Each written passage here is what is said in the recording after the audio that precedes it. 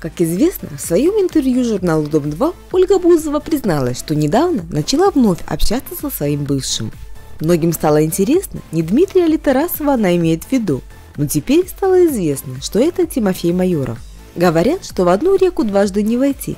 Но даже на примере наших участников мы знаем, что отношениям можно и нужно давать второй и третий и четвертый шанс. Я и сама знаю пары, которые на 5 лет расставались, а потом сходились и до сих пор живут счастливо.